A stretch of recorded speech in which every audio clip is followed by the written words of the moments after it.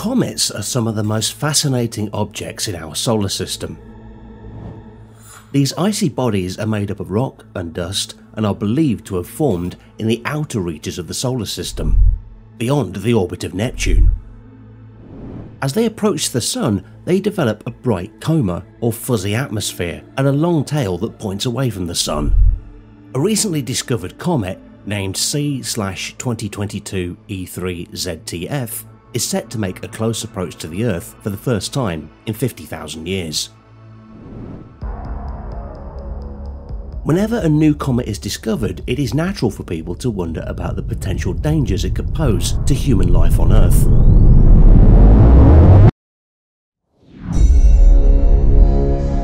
Where does this comet come from? Are there any potential hazards associated with it, such as collision with Earth or interference with satellite and space missions? Comets are notoriously unpredictable, but there's no threat of this green comet crashing into Earth as it will be 26 million miles away from us at its closest approach.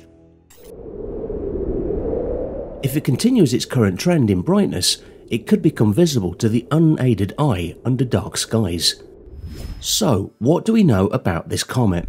We discover hundreds of comets a year, and in some cases, depending on which telescopes are tasked to it, in some cases it could even be thousands. This comet was discovered last year, so the act of discovering a comet is not itself extraordinary. Most of those comets never get bright enough to be visible to the unaided eye. They're moving, you have to know where to look today versus yesterday, which is going to be different from where you have to look tomorrow. So, this one in particular based on its trajectory, based on how bright it has been for the past few months, because it's headed doing this deep loop orbit around the sun. As it descends towards the sun, as you know, as you may know, the heat from the sun will sublimate the ice.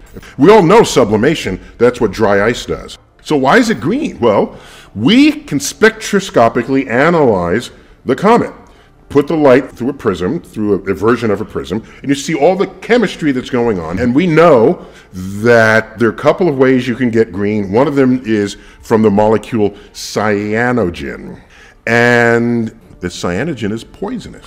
The first time we detected cyanogen in a comet was for Halley's Comet in 1910. So, you have a comet that's coming in. It was unknown before. So last year was it was discovered. So there's no record of it ever having come before. When you look at its orbit, we find out that its orbit is 50,000 years around the sun. So, sun's gravity goes well beyond the last planet from the sun, well beyond Neptune. It goes into the Kuiper Belt comets, and where Pluto is a member, one of the prominent members of the Kuiper Belt of comets. And, and then beyond that, there's a, a spherical repository of frozen objects, comets, that goes practically halfway out to the nearest star. This green comet is currently reflecting sunlight at around magnitude 7, which is just below the cusp of seeing something with the naked eye. The best time to view the comet is early February 2023. While it will be visible, it won't be the bright green comet that some stories have promised, and viewers should be prepared to be patient and have a bit of luck to spot it. It's too faint to see with the naked eye. The comet is considered a long period comet, which means its orbit extends very far out of our solar system from a place we have not actually ever observed.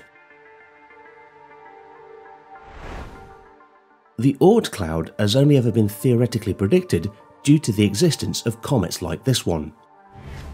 This was predicted to be there by a Dutch astronomer named Jan Oort, and it's called the Oort cloud. This comet comes to us from the Oort cloud, and it has already come past the sun, so it's already at its own intrinsic brightest, but now it's going to work its way back out of the solar system and it'll come closer towards Earth. So after it dips around the sun, it'll be best viewed in our northern skies as it passes by the North Star. When light leaves the sun, it takes a little over 8 minutes to reach Earth. But it will be another 8 to 28 days before the same sunlight reaches the inner edge of the Oort cloud, and perhaps as much as a year and a half before the sunlight passes around the Oort cloud's outer edge. There may be hundreds of billions, even trillions, of icy bodies in the Oort cloud. Now and then something disturbs the orbit of one of these icy worlds and it begins a long fall towards our Sun. Most known long period comets have been seen only once in recorded history, because their orbital periods are so, well, long. Countless more known long period comets have never been seen by human eyes. Some have orbits so long that the last time they passed through the inner solar system, our species did not yet exist. Last time this green comet was visible from Earth was approximately 50,000 years ago, and it is predicted that it will not be seen again in the inner solar system for at least a million years, but it could also leave the solar system completely. There are also comets out there that never have ventured close to the Sun in the billions of years since they formed, but there is another type of comets out there that include much smaller orbits than long period comets. These periodic comets are comets with an orbital period of less than 200 years. Perhaps the most famous short period comet is Halley's Comet. It is named after the astronomer, mathematician and physicist Edmund Halley. The comet, which is visible from Earth every 75 to 76 years, was observed by Halley in 1682, and it correctly predicted its return in 1758. By studying comets, scientists hope to learn how planets formed and even how life may have evolved on Earth. So we know much less about the comets than we know about the giant planets, and we know much less about the giant planets than we know about the terrestrial planets. So we have these three domains.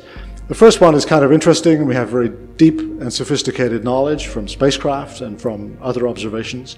The second domain is kind of mysterious but very interesting, and the comets are almost unstudied. I mean, we're still discovering major new populations of bodies containing uh, comets, large numbers of comets. So the first one to be discovered was, was this one called the Oort cloud. This spherical swarm, here's the sun, this spherical swarm of comets surrounding the sun, about 100,000 AUs across. Now remember, the distance to Neptune is about 30 AUs. So this is much, much, much bigger than the size of the planetary region of the solar system. The orbit of Neptune actually would be completely invisible on this plot. It's so small, we couldn't see it. So this swarm of comets is inferred from the long period comets, which seem to fall into the solar system randomly uh, from all directions. The equal numbers coming in from the northern hemisphere, from the southern hemisphere, in the direction of the Earth's motion and behind the Earth's motion and so on. It's a spherical infalling population of comets. And these things we think have been there since the, pretty much the origin of the solar system. There are probably almost a trillion comets in the Oort cloud. There's a lot of comets. Comets individually are small, maybe a few miles across, but there's so many of them, when you add them all together, they carry quite a lot of mass, and so they're important. And their distribution is important for understanding the solar system. And then is this thing that we call Kuiper Belt, which is much smaller. So here are the orbits of the planets, Jupiter, Saturn, Uranus, and here's Neptune going around like this. And the Kuiper Belt is like this bicycle tire surrounding the solar system that starts at the orbit of Neptune and goes out. So it's kind of a disk, it's kind of fat, so it's kind of a donut, maybe more than a thin disk. And but this turns out to be the source region for what we call short period comets. So comets that don't fall in from the Oort cloud uh, instead fall in from this region called the Kuiper Belt.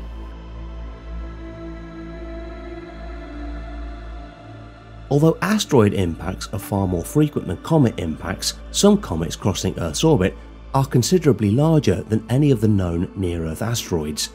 Thus, the largest and most devastating impacts on Earth are likely to be comets. This is why scientists and organisations closely monitor and track these objects in order to set up plans and strategies to mitigate any potential hazards.